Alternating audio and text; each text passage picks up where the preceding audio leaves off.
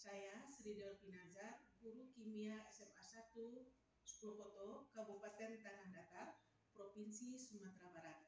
Di sini saya akan berbagi dengan SMA Alira, di mana SMA Alira oh, masih belum oh, bisa membuat yaitu aksi nyata memasukkannya kepada plafon Merdeka Mengajar. Nah, di sini saya akan memaparkan cara berbagi praktik baik membuat aksi nyata tersebut.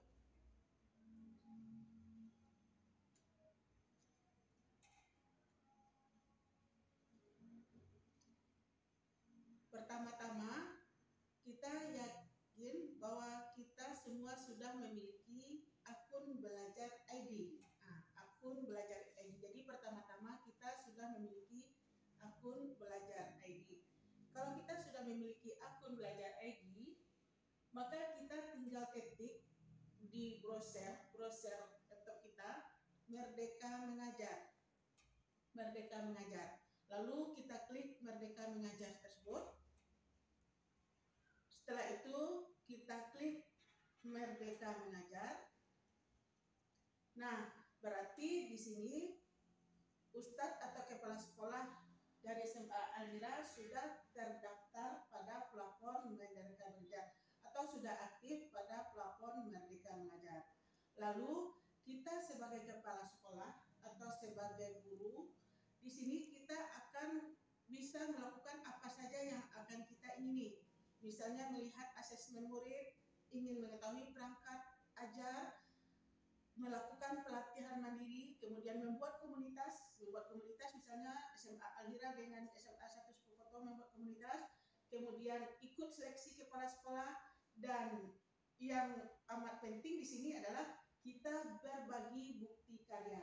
Jadi nanti kalau ada ustadz-ustadz memiliki bukti karya, sama seperti kita membagi kepada YouTube, bisa kita kirim pada bukti karya.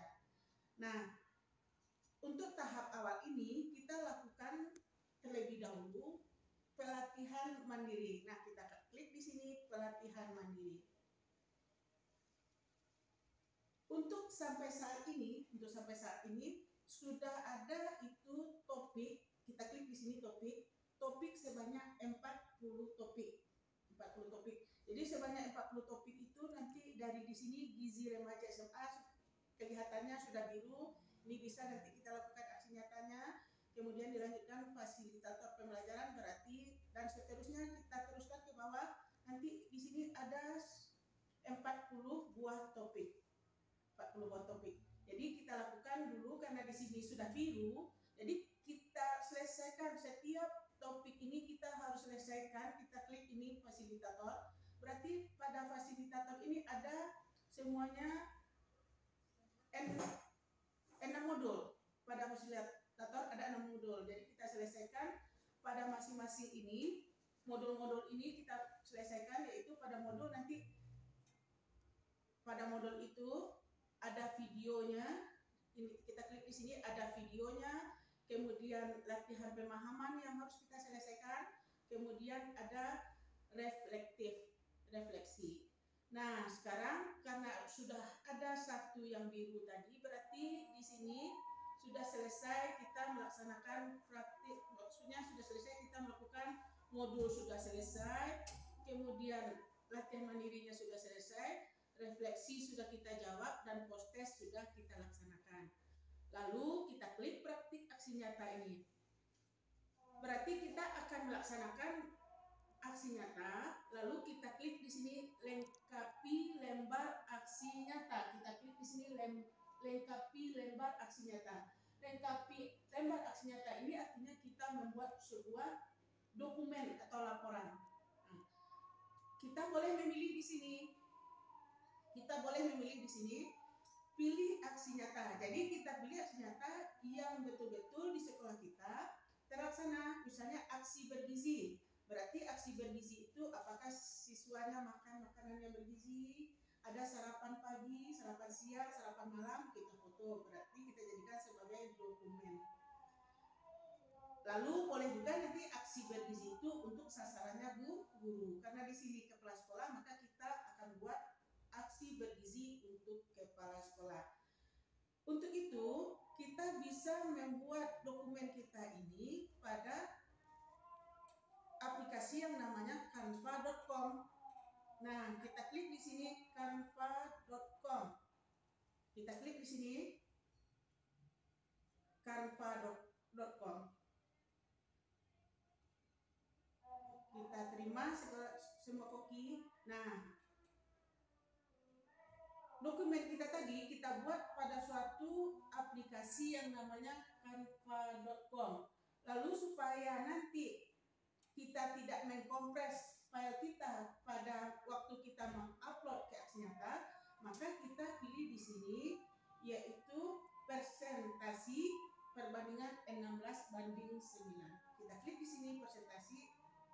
16 banding 9. Kalau kita pilih ini, maka kita tidak perlu nanti mengkompres. Nah, di sini kita akan kelihatan template yang akan kita gunakan.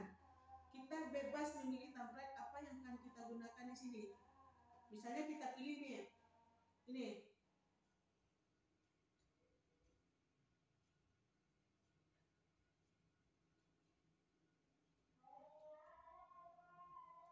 berarti ini kampanye berbayar ya kita pilih yang tidak berbayar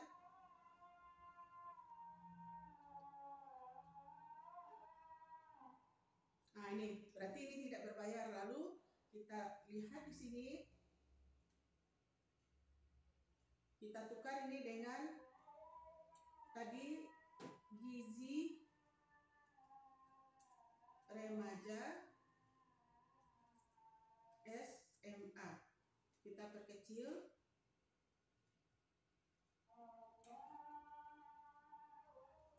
Lalu semua dokumen nanti kita masukkan ke sini kita tambahkan kita tambahkan masing-masing halamannya terus kita tambahkan sesuai dengan berapa dokumen yang akan kita masukkan dokumen di sini harus ada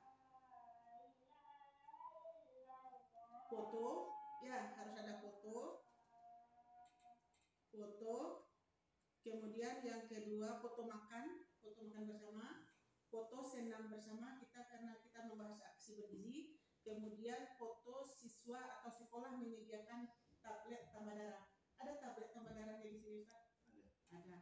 Nah, begitulah. Setelah selesai kita membuat ini, setelah kita selesai buat ini, lalu kita klik share. Lalu setelah kita klik share, kita download di sini ada download di bawah, download Lalu karena kita memasukkan aksi nyata kita berupa PDF, maka kita kan banyak di sini ada PDF, ada PPT, kemudian ada PDF print, kemudian ada JPG, ada PNG dan seterusnya. Untuk aksi nyata kita memilih PDF. PDF, lalu kita download di sini kita download ya. Nah, kemudian setelah selesai pendownload kita nanti akan bisa kita lihat pada laptop kita masing-masing. Nah, seperti itulah cara kita memasukkan aksi nyata kepada plafon Merdeka Mengajar. Terima kasih. Assalamualaikum warahmatullahi